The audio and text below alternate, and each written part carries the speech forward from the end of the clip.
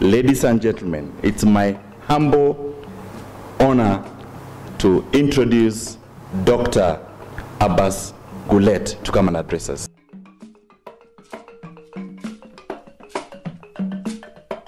These are ladies and men of goodwill that are out there in the communities. People ask, why does Kenya Red Cross respond very quickly? How come you are there every time this happens? I mean, I see addressing humanitarian crisis in Africa through partnership in different directions. We know what are the humanitarian uh, crises. I think it was a very good meeting. I think what was very refreshing is the fresh new angles, new conversations, very many were extremely provocative that we had and I think that for me was was new.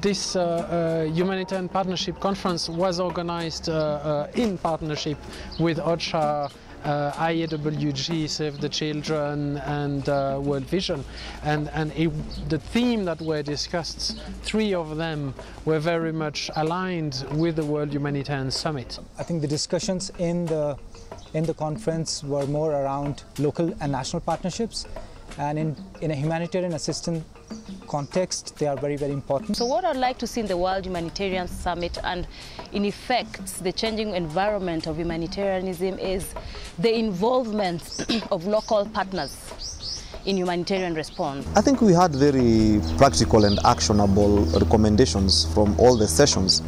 Uh, one that uh, quickly comes to mind is the role of uh, community voices. Are we, are we taking sufficient time to listen to some of the solutions that community members are proposing?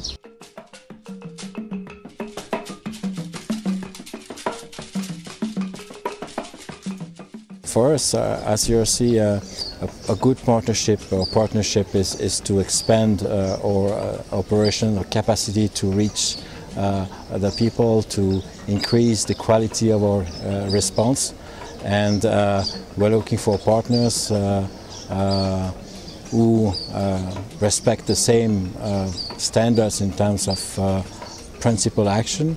So again, through development agency partnership. So partnership again here using development agencies. Perception that these are poor countries, we say as poor as we may be seen to be, we're not actually that poor. I'm also very happy that uh, Save the Children um, came up with this meeting today to show the importance of partnership with not only the private sector and government, but also with the institutions of higher learning, with the UN, and with, uh, with even individual citizens of our countries. I think it was great. It was really well organised. We had excellent participation at, in all the sessions, the panellists, the, uh, the main plenary, and I think the discussions were really vibrant. And to reduce the vulnerability.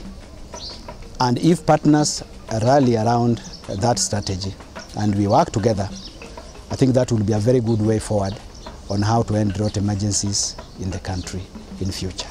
I hope um, we will be bold as we you know, focus towards 2016 in just being able to very boldly and candidly change the conversations around what we want our world to be as relates to humanitarian work.